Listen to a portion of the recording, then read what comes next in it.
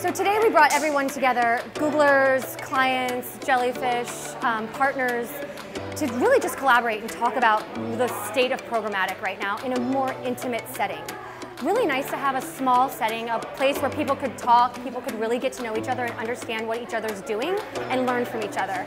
A lot of the application that we've been using through media is now being brought throughout the entire organization. And you're starting to have to think across business lines to break down those silos to create great experiences for the, for the customer across the entire business as opposed to just in marketing it's a whole ecosystem for ad delivery, so you need everybody that's involved in that. So not only did we have our DSPs, but we made sure that we had people that weren't just selling a platform, they were talking about their visions for the future.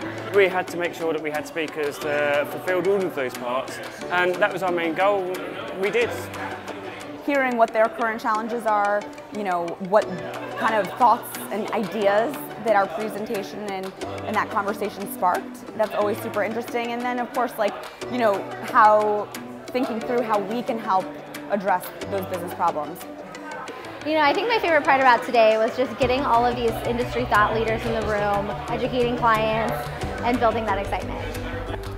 Uh, the favorite part was probably the kind of, I guess, the different partners that were here, the different presentations that happened. You guys really covered the full spectrum as to what someone might be concerned about, especially uh, even though I'm on the marketer side, I understand what their challenges are.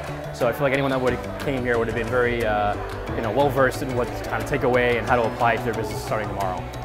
To be able to shake hands and really share the successes and celebrate those successes was absolutely the best part of today.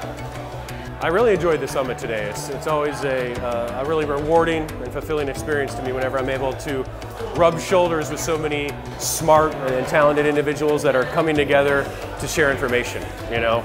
I learned a lot today. It was awesome.